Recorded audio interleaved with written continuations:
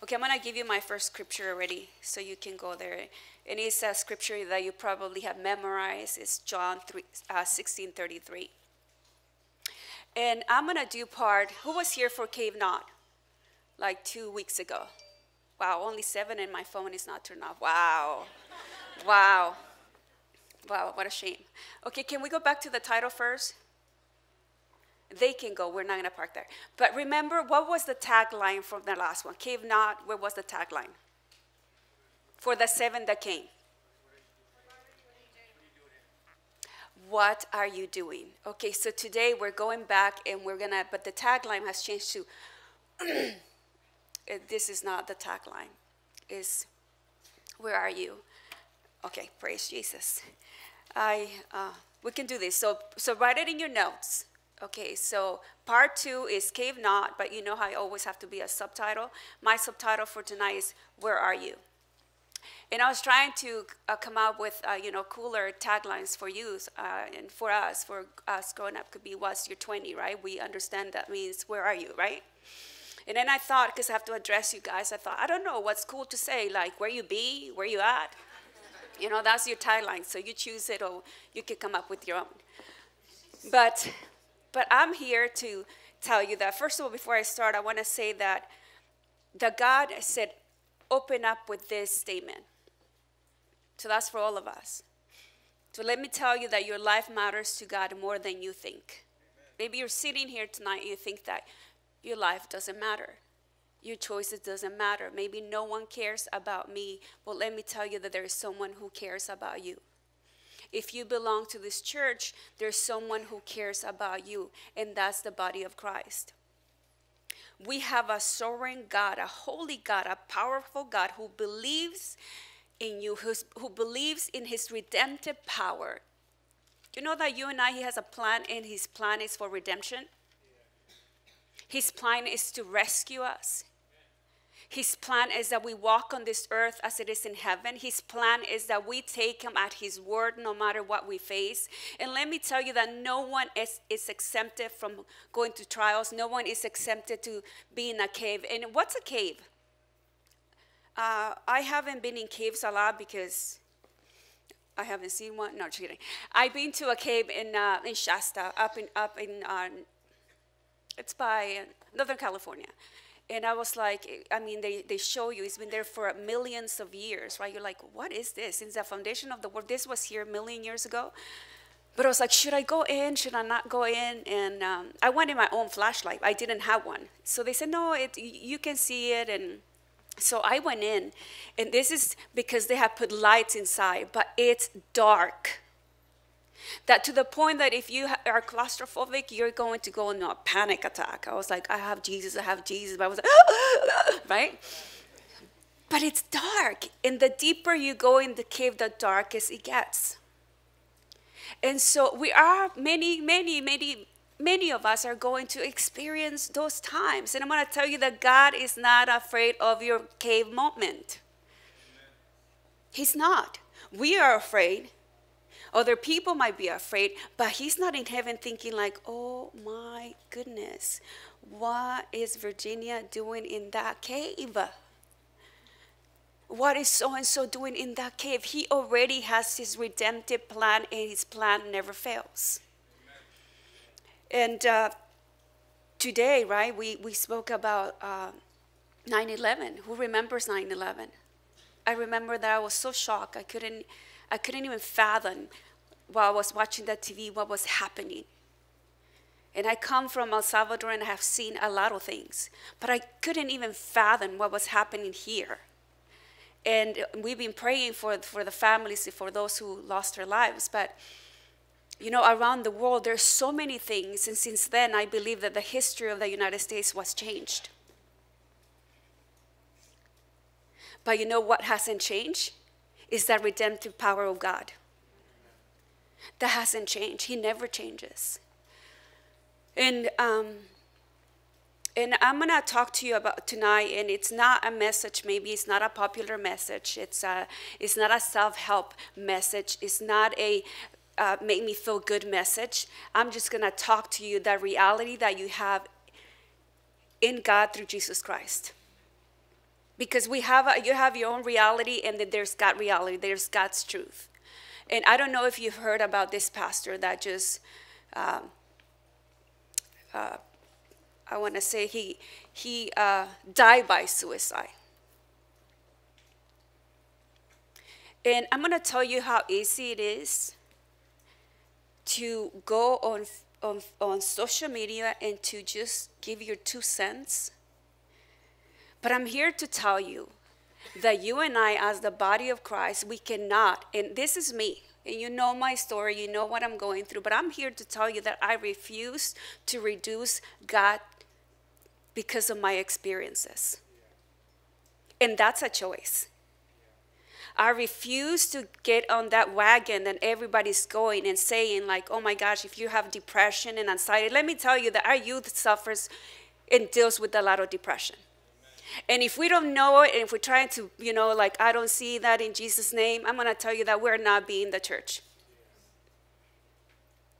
But we cannot allow, I'm not denying my experiences or the lack of thereof, but I'm not going to put God, I'm not going to box Him in this limited space because of my past or because of my experiences or because of my pain or because of the betrayals that life will get to you, give you, the punches of life, the storms of life. You and I have a choice to reduce, not to reduce God to our circumstances. I cannot proclaim that, oh my God, he, my God is not that powerful. My God is absent in times of my cave time. No, he's not absent. I might feel like he's absent, but he is more present if you allow his presence to be felt in your life. I believe that as a church we exist. We are the hope of the world.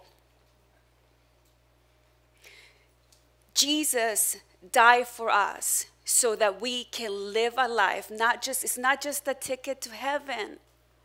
And i think we focus a lot on that right? And we we think like you know what? As long as i'm saved going to heaven i'm going to allow life and i'm going to live on this earth like hell. Well hell not And please do not send me uh, your, your letters or opinions or go like what I'm about to tell you because I'm going back to the Word. I'm not going to say anything that is based on my feelings, my experiences, my past life, or whatever. I'm not going to speak about that. I'm going to speak who God is in the midst of right now and who you and I can be in this time. Amen. Because the church has to wake up. The church has to wake up. The church has to have compassion. And I pray, like, if you have never been depressed, thank God. You know what? Give glory to God and rejoice, but do not judge. If you don't understand what it is to be on a cave, if you don't understand what it is to have anxiety, if you don't understand what it is to have panic attack, if you don't understand that, if you don't understand what it is to have PTSD, if you don't understand to, what it is to have trauma, then you know what? If you don't understand it, just pray that God will give you the wisdom and that we can be there for one another. I'm praying. I'm praying that this church will awaken. This church will awaken and that we will not be afraid to talk about those things that scare people. The world already has a stigmatism. The world already like I I ha- I haven't even been on social media and I read just one post and it was like, shut the hell up. Because it's hell. They're not speaking the good news. So if it's not the good news, who are you proclaiming? It is what it is, right? No, we need to like, your words matter. If you're gonna post, you know what? Go find out where those people live and go tell them in their face. Amen. And then see if you're standing for the good news or your opinion. Do not stand for your opinion. I can't believe that someone said that pastor is going to hell. Go back to the word And I'm not going to stay there, but I think even youth need to know that this should be a safe place. The church should be the safest place where people can come and be brokenhearted. Can people can come and have whatever they're dealing with. You know, we we don't even talk about mental health illness because that's a curse word in the church. It is real. It is real. But there is a real God that can heal it. I'm not speaking like, whoa, a victim. No, I'm not saying that. And no one knows who are we to say, like, why these people make their choice. You don't know their past. You don't know their decisions. You don't know what they have gone through. So be quiet. And pray for the family. Pray for the family. Let's go back to the Word of God. Okay, are we good? Do I need to do a dance? Rap some song? Too bad I don't remember any songs right now. But since the beginning, God created you and I in the image and likeness of God. Did you know that? You know, when people tell me now, like, you know who my daughter is, right? She's so beautiful. Where's my daughter? Oh, over there. Mm. You know my son? He's so handsome. He looks like his mama. I'm just gonna say, he has my wittiness. And no, but as if you're a parent, right? When someone tells you, like someone told me lately, people are telling me, like, oh, your daughter looks just like you, and I grow taller. You know? Because I, I, I don't see that, but hey, she's beautiful. I'm, I'm taking it. You know, there's a, there's a pride. There's this, as parents, we're like, oh, really? Oh, Isaac looks like you. He, when he was little, he would be, no, mom, I don't want to look like a girl. I was like, no, baby, you look like your daddy. It's okay. We just have the same features, but no, you're not a girl, right? Uh, because it's like, no, I want to look at my daddy. But, but, but it's so good, right? As a parent, do you get, do you feel great when someone tells you your kid looks like your spouse? You don't want to look like the lechero, no, right? The person who delivers, the Amazon guy, right? The deliver UPS guy. You want them to look like in your likeness and your image, right? Okay, so that's the way God feels about you. He feels great when someone says, you know what, when I talk to you, you're the essence of Jesus Christ. Oh, God is like, oh, that's my girl. That's Sarah Castillo. You know, she hugs so good. You know, when we choose to speak life when someone is down, God is like, ah, that's my son, that's my daughter, standing for the truth of God, not the opinion of men. And I pray that those who are easily opinionated, I pray that they never get to that space. That they never feel that alone, that they never go through a depression, they never go through that anxiety. They never go through that because once you're in that arena, it's a different, it's a different sport. And to me, at this point in my life, I, I really, opinions do not matter to me. You know that there is freedom when opinions do not matter to you? But opinions were people that have been, that have shown up and been able to show up in the arena where I have been and they show up. Oh, I respect that opinion. We need to give honor to whom honor is due. And as a church here, we're not going to be afraid to talk of things that people don't talk about it. People have so much empathy and compassion for someone who suffers cancer. You will never go to someone who suffers cancer and say, do not go and take, do radiation. Do not go through uh, chemotherapy. Do not take the medicine because if you're taking the medicine, then you're not you're not staying in faith. We don't do that. But see, we don't understand mental health issues, so we're going to say, you know, your faith is not enough. You are not faithful enough. You're, you didn't have faith enough. You, you didn't have hope enough. And I'm going to tell you, when you're in those moments, you will lose hope. You feel like you're losing hope, but then again, we have a hope, and that names is a substance, is something that is tangible, is something that is real, is something that dwells inside of us. So, my hope, whether I feel like it's gone, that's, that's why you need people that are going to lead you back to Jesus.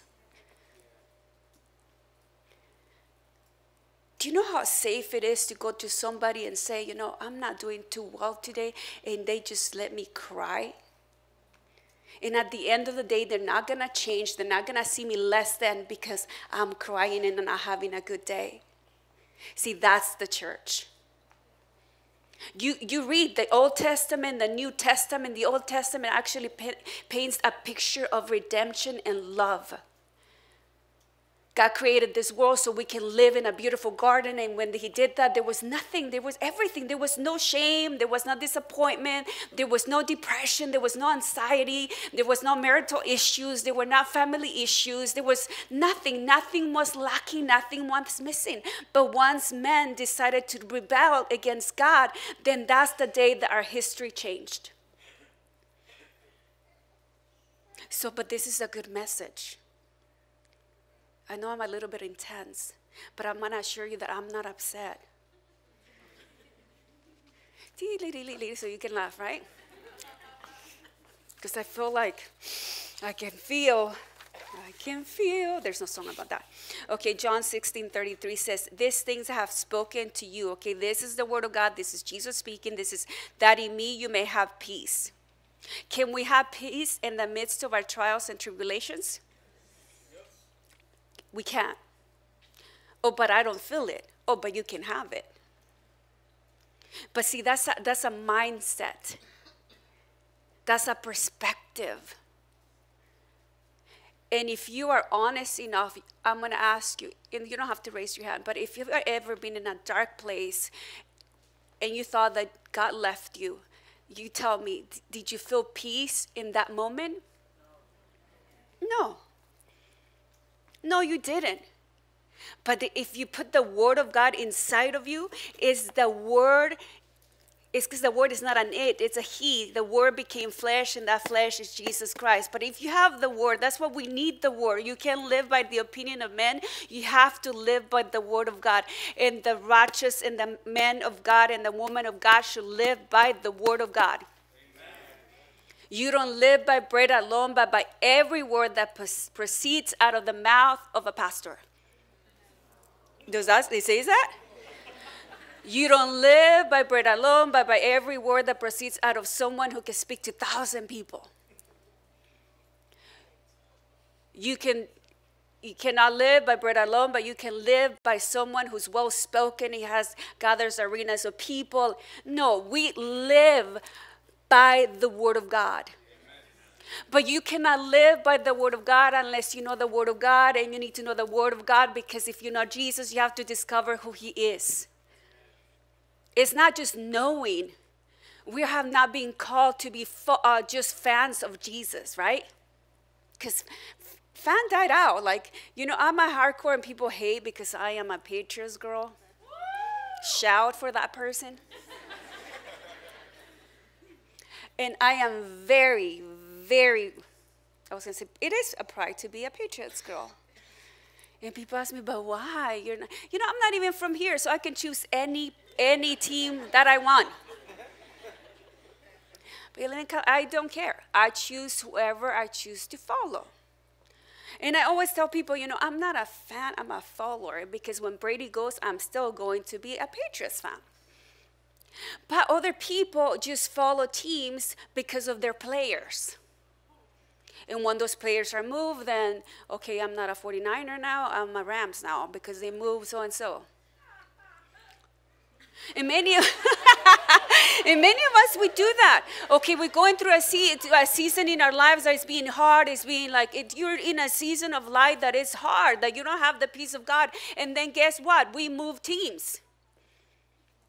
You're like, no, I don't. And I'm not talking about moving churches. I'm talking about who are you listening to? Who's speaking into your life? Who's speaking while you're in the dark place? Who is speaking? Who are you listening to? Who is your daddy? Right? And that's based on John. You have to First John, Second John, go read it, right? That's why I'm encouraging to read your Bible. Are we okay still? You know, we're living in a world right now that is, is so easy. It's so easy to get disappointed. Have you been disappointed with people lately? Only me? Right? It's so easy to be annoyed by people. Hey, you want to punch them? Just me? You guys are so holy. Pray for me. But it's so easy to succumb to despair when things are not working out the way I thought. God gave me this plan. He called me to be a pastor. He called me to do this, but wait a minute. I, I am full in despair, but I cannot share with people because they will judge me.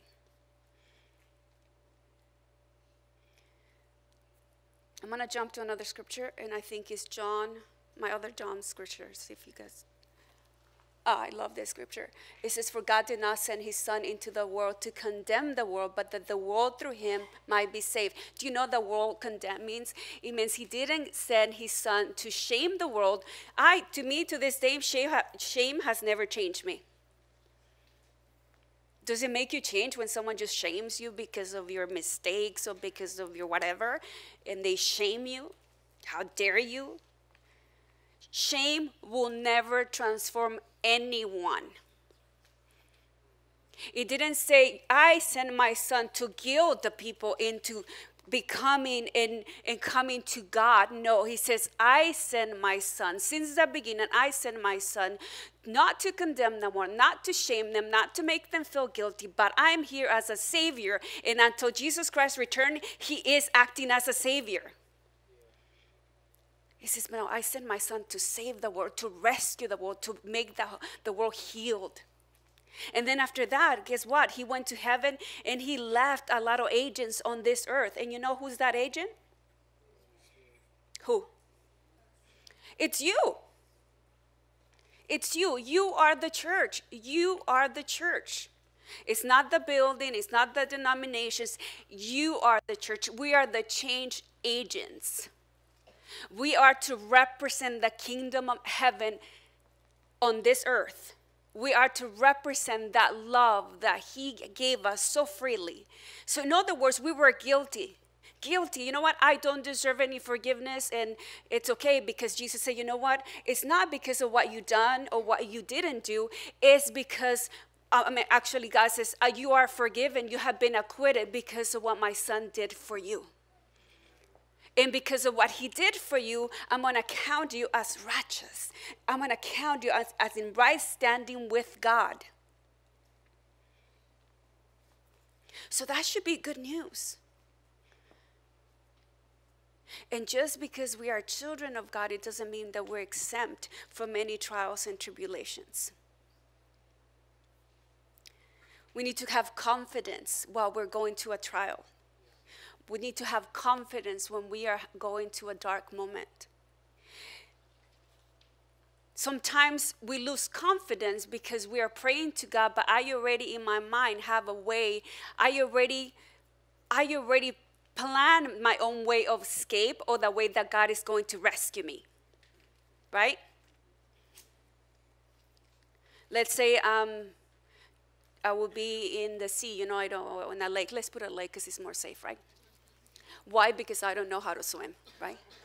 But let's say I'm in the lake and I'm like, you know, I'm, I'm, I'm drowning, right? And I'm praying to God, Lord, rescue me, send an angel.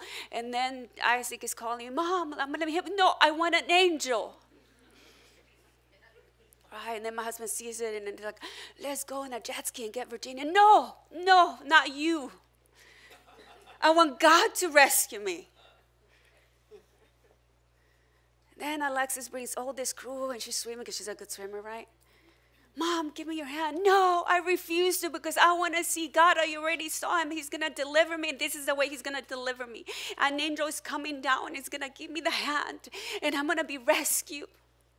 And I'm going to even want to walk on water. And I'm going to come uh, sensation on YouTube. So I refuse to be rescued. Because in my mind, and I'm going, of course, I'm, I'm being dramatic, right? But then at the end, you drown. And you end up in heaven, and you're like, I don't know what happened, Lord. I thought you were faithful. He's gonna be Virginia. I sent, I sent your son with the floaties for you. I sent your daughter with the crew. Your husband passed by with the jet ski. And you refuse because you thought that this is the only way I can work and rescue you.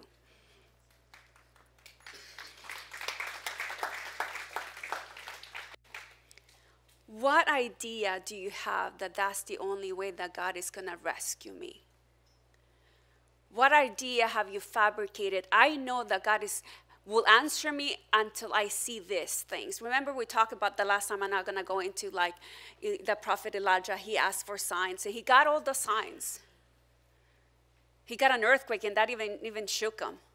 He got three things. It was like until God spoke, and he was a very small, still voice, like, "What are you doing here?" Are we getting this? Okay. We have been given the greater, greater gift that is, you know, the power to choose, a free will. It's easy to blame God for all of our problems because, you know what? And he takes a bad reputation because his children, we are good at blaming God. I, I, uh, I'm honest, I have I have many times said, you know, God, this is you. If you could have just come and been on time, if you would have been here, if you wouldn't have let that person that I want to punch hurt me, I'm just teasing. I did say that though. I wouldn't be where, I, where I'm at. If you would have just stopped it. You know, those could have, would have, you know, that God is not interested in that. He's interested, okay, then here you are. Let's see, let me help you get out of it. He already know how you got there anyways. But he wants you to know that he is available no matter if you yourself did your own custom building of your cave. Or maybe your problem didn't come because it was something that, no, maybe it was because you made some bad decisions. But let me tell you that God is not moved by bad decisions. Does that mean like we live and choose whatever we want? No, but what I'm trying to tell you is that He's always, His plan is to be redemptive. I can redeem you. Whatever the enemy has lost and whatever you lost because of your choices, I still redeem you and I want to redeem your time and I want to redeem your life.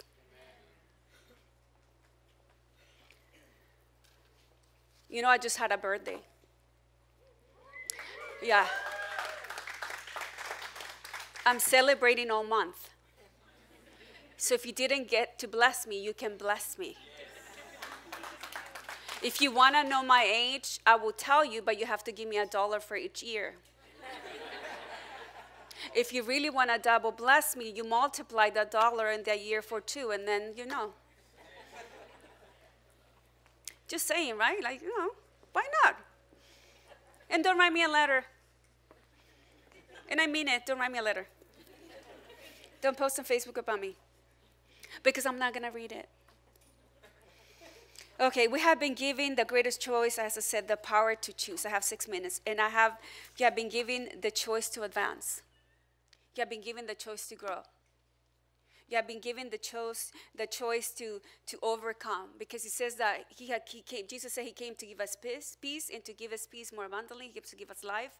And he says, I did. He says, be of good courage because I have overcome the world for you. That means that we can overcome fear and fear is not overcome one time, one day. Like, oh, God, over, God did deliver me from fear. I'm not going to have fear forever. That no, no, no, that's what it is. We are, we go from glory to glory to glory. Romans 12, 2, it says that we are to renew our mind according to the word Word of God so we can decide, we can decipher, not decipher, but we can separate the truth from what is not truth from the Word of God.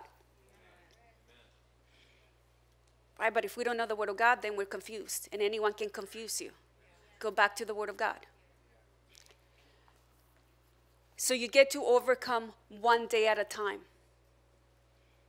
You, go to, you get to overcome again and again and again and again.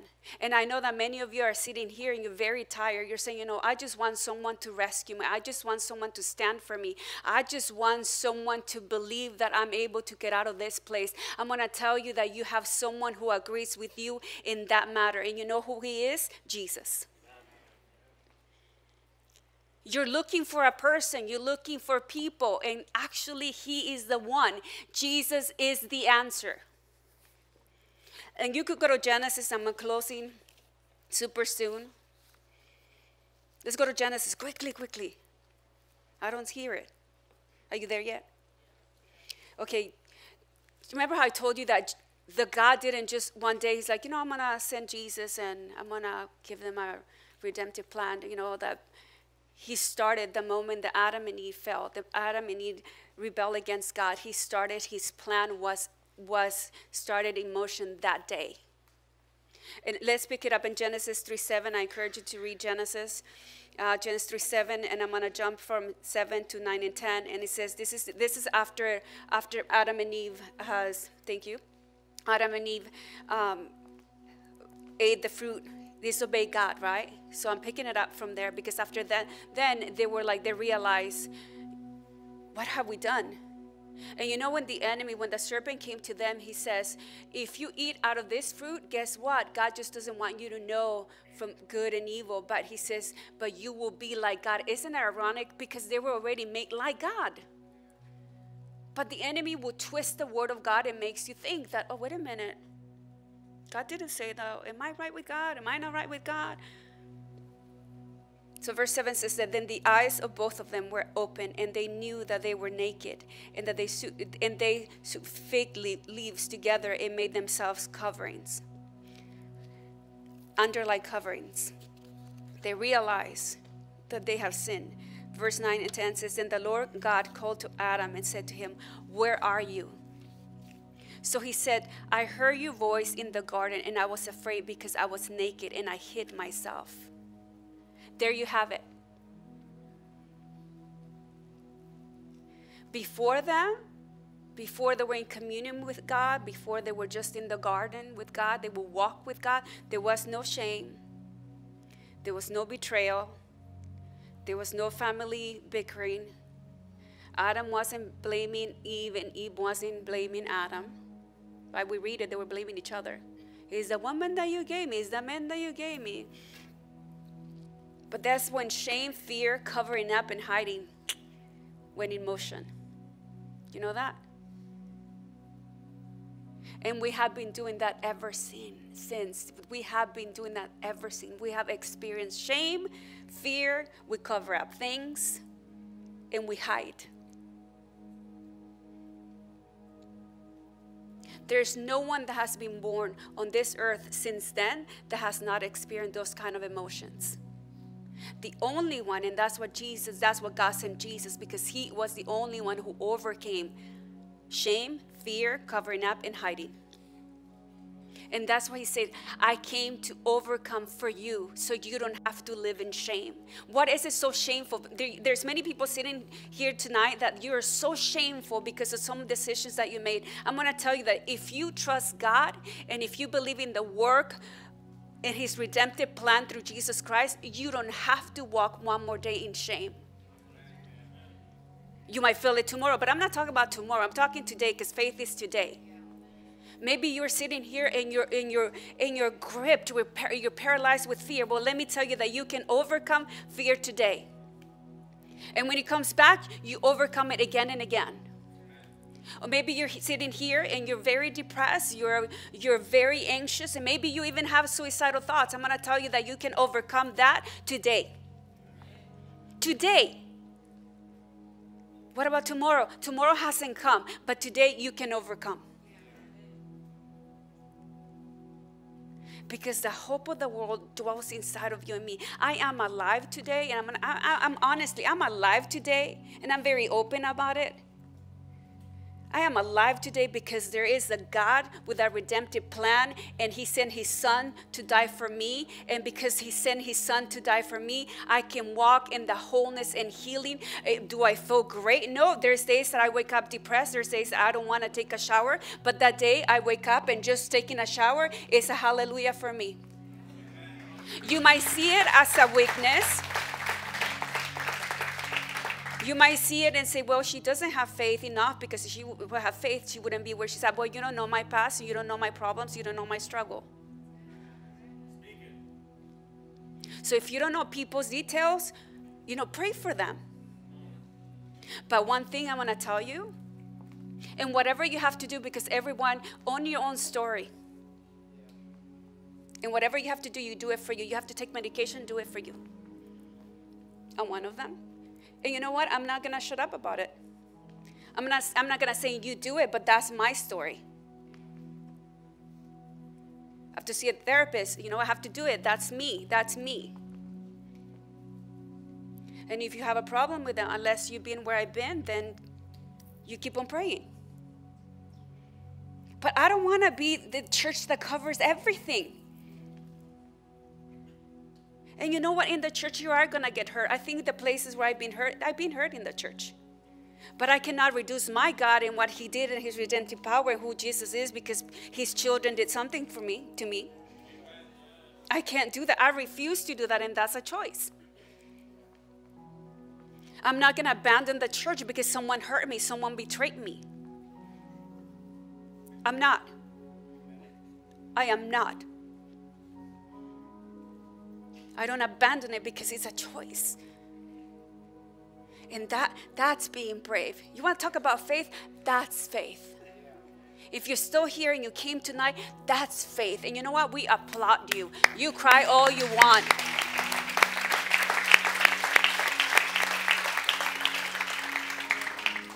I'm going to tell you the second Adam had to come, and that's Jesus Christ to make things right. Jesus came to execute the plan of redemption. He came to pay our, for our sins. He came to pay for the price of our rebellion. He came to make it possible for you and I to overcome. And yes, we overcome. Yes, this shall pass. Yes, this is temporary. Yes, you've been in hell, but let me tell you, getting out out of hell. And you know, I'm going to tell you that you need you need the body of Christ. And I'm not saying you go and just because I have a pulpit, I'm sharing this with you and I hope that you're taking it the right way. I'm not saying to you, go get medication. I'm not saying to you, you do what you need to do for you. But I'm here to tell you that one thing that we do need is we need the Word of God, we need the body of Christ. There's people here that without them, the Bible says that it was my scripture, Galatians 6 something. If you put my scripture and I'm closing with this, carry one another's burden. In this way, you will fulfill the requirements of the law of Christ, that is the law of Christian love. Where is the Christian love? Where is it? Well, no one has loved me. You be it. And carrying each other's burdens doesn't mean, hey, I'm going to take away your pain. No, it means, you know what? When you lose your hope, I can hope for you. I'm going to carry. You're hopeless. It's okay because I'm going to hope for you. Do you know I have like three people here, four people, and I am so thankful that they have never judged me. But when I was hopeless, they say, you know what? I'm going to hope for you. No, but I can't see it right now. I can't see the light. You know what? I'm going to see the light for you. I'm already gonna see Jesus, but I don't see Jesus right now. It doesn't matter because I'm gonna see him for you because I am doing my part as the church, as the body of Christ, and I'm gonna carry your hope because you're hopeless. When was the last time that you carried someone that lost their hope? When was the last time? Or did you shove them with the scripture?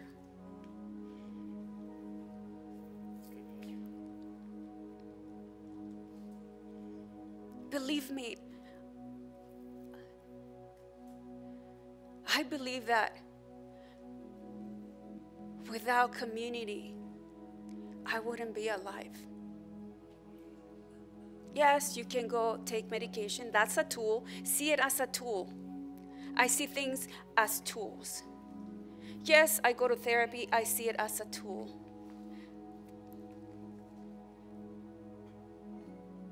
But I also have meditation with Jesus. You know what? Through people here in this church. You know what I call those moments? I call them Selah moments. And I'm going to tell you that God can heal you in one moment, one memory that is so hurtful. He can do it however He pleases. It could be instantly. It doesn't have to be my story. Your story is your own. Well, maybe I'm the first student to go through this, but I'm going to tell you that God can do it as He pleases. If He do it instantly, it's instantly. But I refuse, and I refuse to lose our youth because we won't face what the world is so afraid, what the church is so afraid to speak about. Okay, so what? I'm going to become unpopular. But I'm gonna, so guess what? I'm gonna be popular in heaven. How many people, when you get to heaven, how many people are gonna be behind you and saying, She's alive, she become to the Lord? Because I shared. Let's learn to carry each other's burden. You believe how beautiful this house will be if we will start just being divided in theology and opinions and no, let's just be there for the people. Let's not be afraid to talk about mental health illness. Like, no. In any ways, if you have depression and anxiety, that usually is just a sign that there's something that you need to address. But so we're treating the symptom and we're afraid of the symptom. No, God just wants to go to the root of the problem and He wants to heal you. But because many of us, we don't know what to do. We're afraid. We're afraid. Someone says, like, oh my God, well, like, send them, go to that church. we don't receive people here that are broken. If you think that, you're so broken and you don't even know it. So, this is a message of hope and a lot of love, okay?